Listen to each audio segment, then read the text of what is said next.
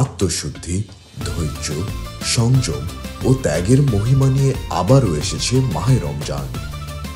দেশ জুড়ে সিয়াম সাধনা শুরু করেছেন মুসল্লিগণ।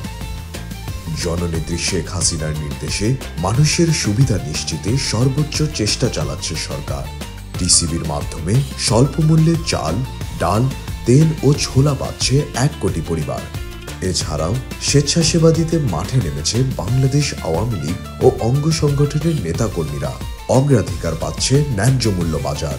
জনতার কাছে স্বল্প মূল্যে ভোগ্যপণ্য পৌঁছে দিতে রাজধানীর বিভিন্ন এলাকায় স্থাপন করা হয়েছে শতাধিক সুলভ মূল্যের বাজার। এসব দোকানে চিনি, পেঁয়াজ সহ পাওয়া যাচ্ছে সব ধরনের কাঁচামাল। এমনকি উপহার হিসেবে নিম্ন আয়ের মানুষদের মধ্যে বিতরণ করা হচ্ছে ইফতার ও সেহেরি সামগ্রী।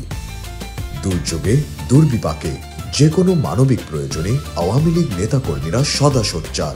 রমজানের পবিত্রতা রক্ষা ও জনমানুষের সুবিধার্থে আওয়ামী লীগ নিবেদিত প্রাণ।